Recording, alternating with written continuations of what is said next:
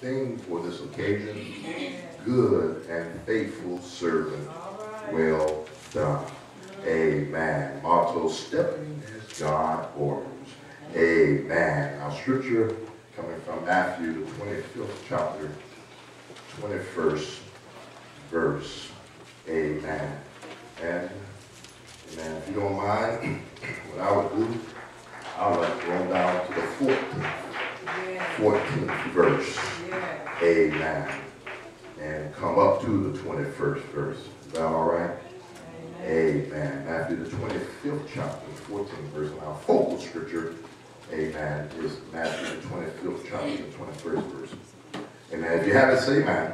amen. And it reads, For the kingdom of heaven is as a man traveling into a far country who called his own servants and delivered unto them his goods. Unto one he gave five talents, to another two, and to another one.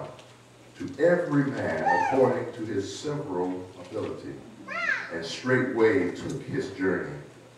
Then he that had received the five talents went and traded with the same and made them other five talents. And likewise he that had received two, he also gained other two. But he that had received one went and digged it in the earth and hid his Lord's money. After a long time, the Lord of those servants cometh and reckoneth with them. So he that had received five talents came and brought other five talents, saying, Lord, thou deliverest unto me five talents. Behold, I have gained beside them five more, five talents more. And his Lord said unto him, Well done, thou good and faithful servant. Thou hast been faithful over a few things. I will make thee ruler over many things. Enter thou into the joy of the Lord. Amen. May the Lord bless you for reading of this word. In reading, amen, the 25th chapter of Matthew, amen, we see that the Lord is doing a lot of teaching in that particular chapter. And in each one of the different uh, scenarios or stories or parables that he gave, amen, he began them with, for the kingdom of heaven. Amen.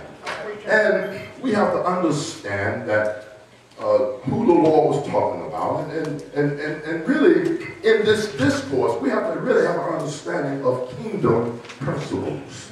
Amen. Uh, the prophets of God throughout the ages have, have foretold of a glorious era when the kingdom of God, and there is a distinction between kingdom of God and kingdom of heaven. Amen. Uh, the kingdom of God is, is, is defined and described in Romans, the 14th chapter, the 17th verse. All right. For the kingdom of God is not meat and drink, but what it is, is righteousness and peace and joy in the Holy Ghost. Amen. And, and, and sometimes people get things kind of, they kind of misconstrue some things because the, the disciples and the Jewish nation, when Jesus came on the scene, they was expecting the kingdom of heaven to come at any time. Amen. They were looking for that King of kings and, and Lord of lords to finally bring them out of the oppression of the Romans. Amen. But when Jesus came, he came to establish the kingdom of God. Because the kingdom of God dwelleth on in you. It's on the inside. It is a spiritual thing. Amen. Because God is a spirit. Amen.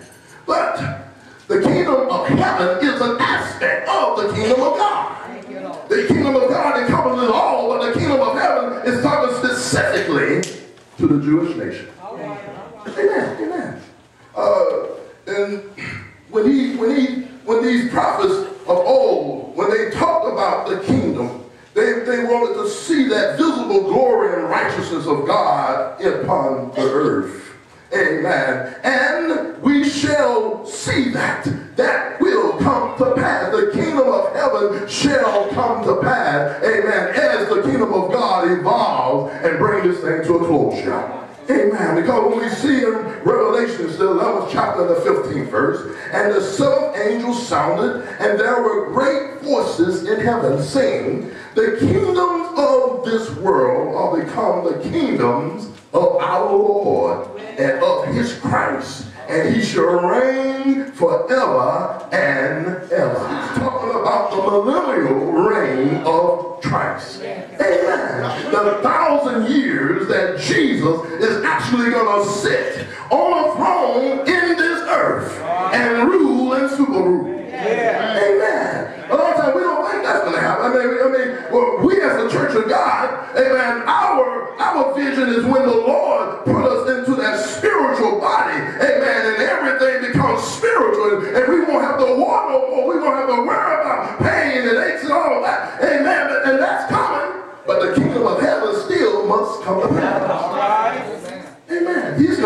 a physical kingdom.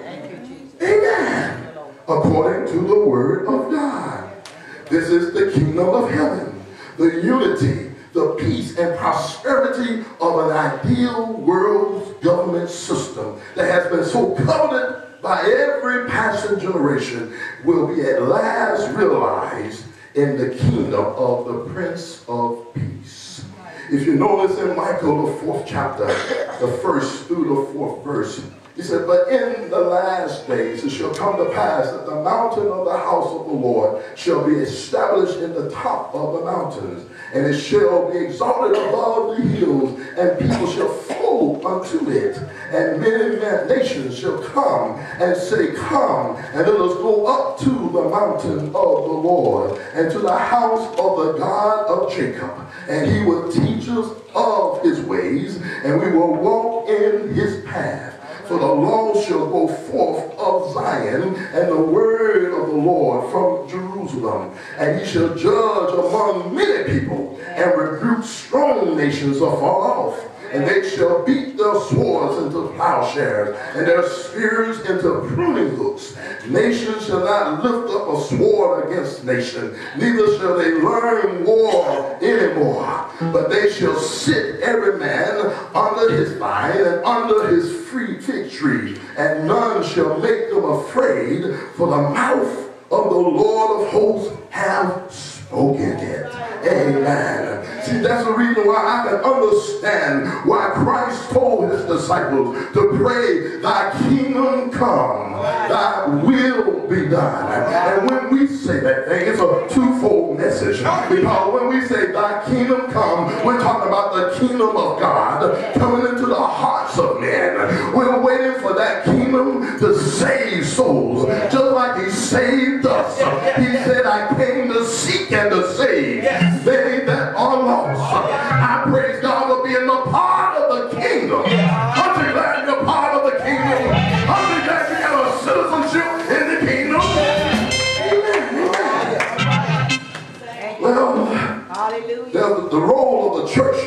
this kingdom of heaven age, because when the Lord began to give this parable about the ones with the talent, he said the kingdom of heaven is likened unto Amen. He was talking to a Jewish congregation right there.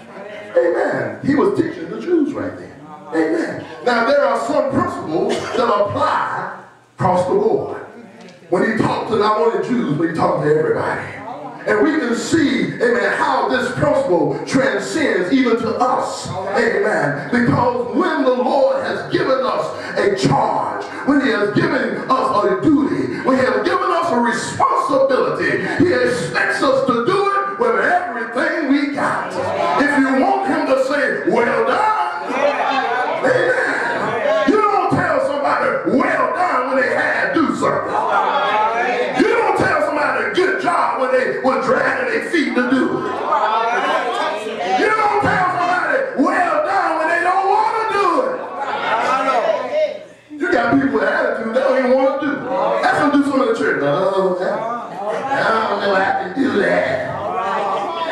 got that. All right. I think I'm gonna be out of town. Thank you. In three months from now. Yeah. You don't know whether you're gonna be alive. All right. Amen. Amen. But how can we expect the Lord to say, where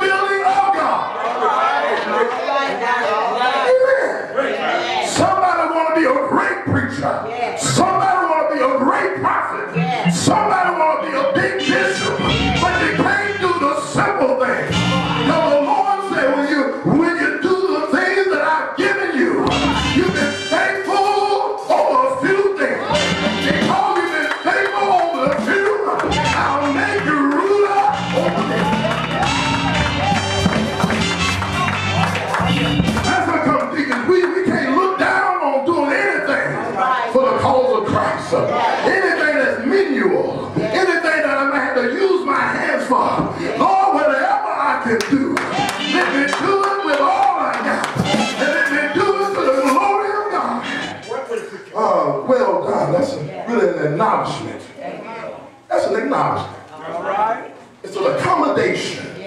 Amen. When somebody say, well done, when they give you a raise on the job, and you get your, amen, your quarterly review or, or, or, or, or monthly review or how, or yearly review, however they, they evaluate you. All right. All They come to you and say, well, we evaluated you, and we say, a job well done. We're going to give you a raise. All right. Smile, didn't preach. Make you smile. Somebody want to jump for joy. Some people start speaking in tongues. Uh-huh. Amen, amen. But the thing is, you can't get that accommodation by being half in and half out.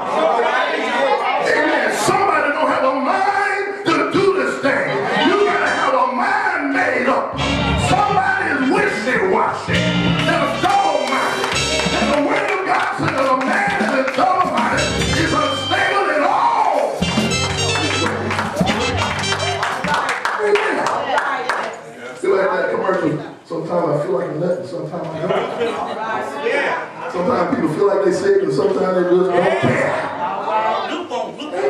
Oh, Amen. Amen. But if you want the Lord to say, well done, see, I want him to say, well done, not just when I stand before the throne, but when I do what he want me to do. If the Lord, you want me to preach your gospel, I don't want to have to, but I want to stand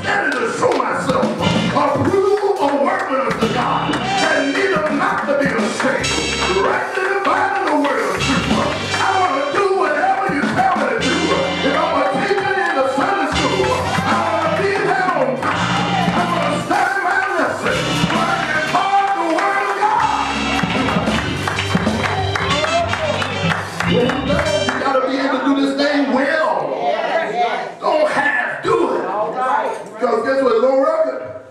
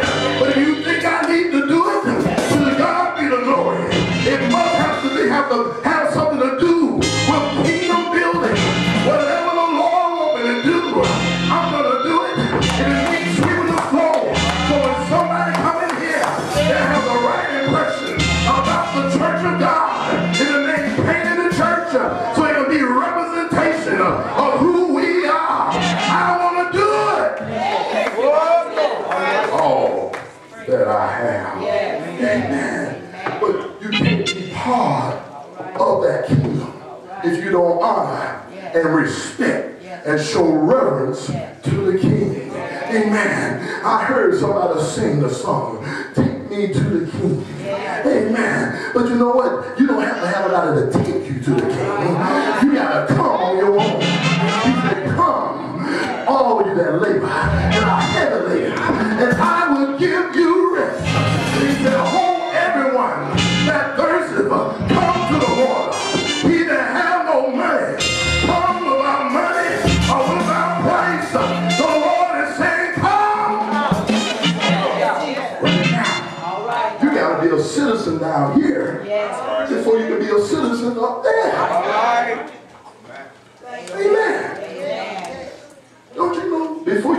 to a different country, you got to have a passport. Somebody want to go to a different country, they ain't got their passport. Go to the, go to the gate, try to get on the I'm sorry. You are not authorized that's to go across the border. You got to stay in your country. We don't want you now. Amen, amen. You got to prove yourself to be a worthy subject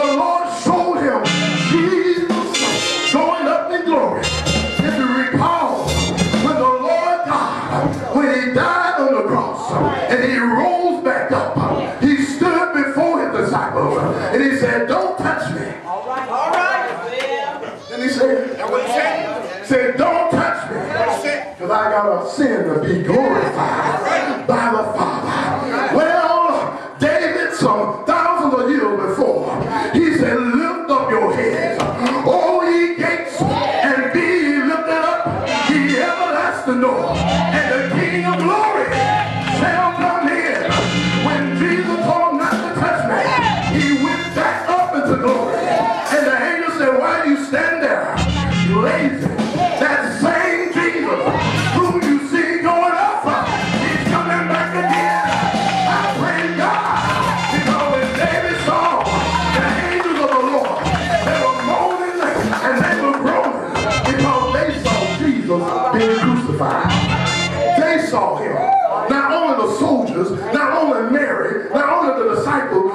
angels in heaven saw the Lord God Almighty being crucified. And he said, they hung their head. They hung their head.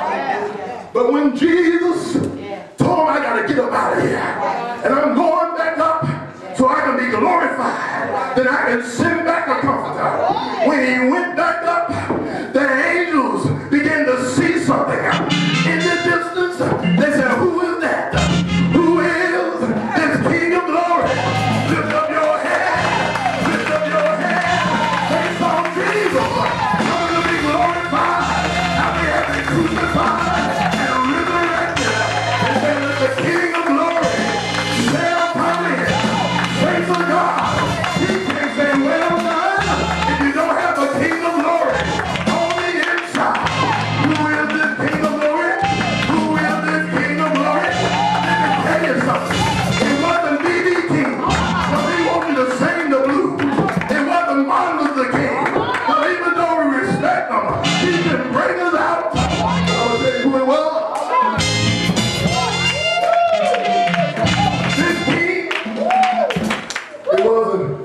Geraldine. No, don't be in my. They're here promote. They cannot. Come on, come on. But I want somebody gonna win a war. Amen.